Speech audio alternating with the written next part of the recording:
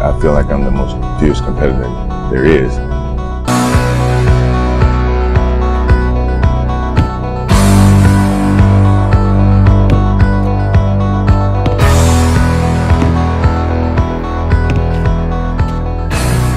People were afraid of him. We were his teammates and we were afraid of him. And there was just fear. They're going to spread the floor, run the clock down, let Jordan create from the middle. There's Jordan on the fake. Yes! factor of, of MJ it was so, so thick. Go. Let's go.